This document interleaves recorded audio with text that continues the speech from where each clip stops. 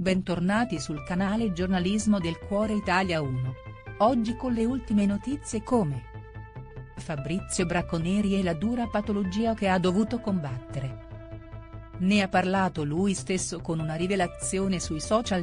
Riuscire a restare sulla cresta dell'onda in un contesto così complesso come il mondo dello spettacolo, può risultare un compito assai arduo.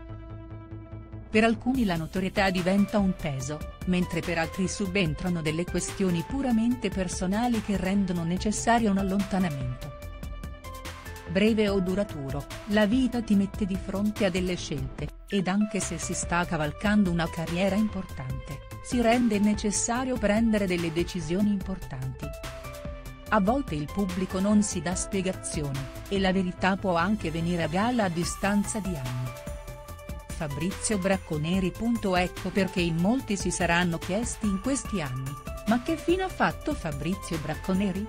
Stiamo parlando di un volto che nel corso del tempo è diventato estremamente comune nella casa degli italiani, per un motivo molto semplice.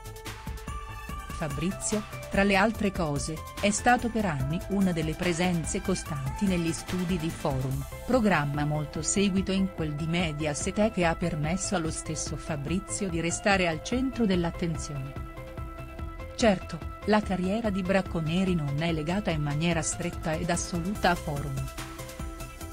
Stiamo parlando di un personaggio che ha cominciato il suo percorso nel mondo dello spettacolo come attore in molti lo ricorderanno nei panni di Bruno Sacchi, ruolo che ha interpretato nella serie tv I ragazzi della terza C' trasmessa da Italia 1.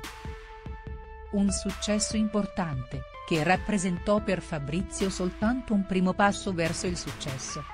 Tanta televisione, poi anche cinema e teatro.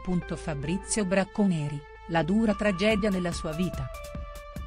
Fabrizio Bracconeri. Dopo averlo visto per tanti anni in maniera praticamente quotidiana, la carriera di Fabrizio ha avuto una brusca frenata. L'attore ha anche spiegato, attraverso i social, di avere un problema molto serio, la depressione. Proprio su Twitter l'attore, qualche anno fa, denunciò il ritorno di una patologia che lo aveva messo alle strette già precedentemente, facendo poi ritorno improvvisamente. Due giorni che mi perseguita questa brutta depressione ma non vincerà la maledetta, non mollo, le parole di Bracconeri. Ce l'ho da 13 anni, ero in un buon periodo ma da due giorni è tornata. Il medico me l'ha diagnosticata ho preso il Prozac X 3 anni, ha poi specificato ancora l'attore rispondendo ad alcuni messaggi dei fan.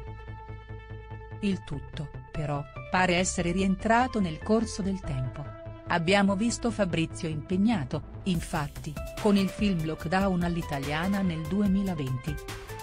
Grazie per aver guardato l'intero video. Metti mi piace e commenta la tua opinione in modo che possiamo discutere. Non dimenticare di premere il campanello per seguire e aggiornare tante interessanti novità. Ci vediamo nei prossimi video.